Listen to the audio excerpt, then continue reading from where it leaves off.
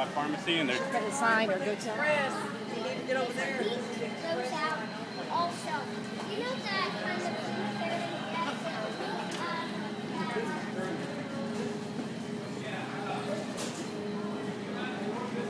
That's the line at Reasor's.